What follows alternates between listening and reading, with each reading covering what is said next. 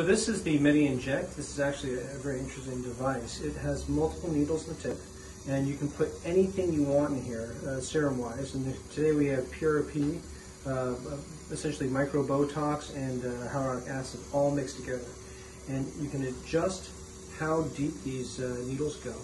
So the MediInject is a, uh, it's a product that's been out for about two years. It's uh, distributed by PPS Lasers here in California. So if you want to use something like this, that's who you need to contact.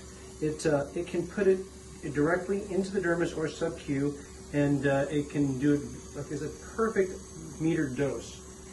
You can actually adjust how much it gives at each shot. So it, uh, it does all the math for you. You say how big the syringes you're putting in here. You can put all different types of syringes. And uh, you say how many total shots you want, and it'll divide it for you. Uh, it can pump the dermis, so you can put HA directly into the dermis. So you can use HAs you normally wouldn't use in the dermis because it would be too thick or you just can't control it. This will give you an even distribution of whatever product you want in here in exactly the plane you want to put it in.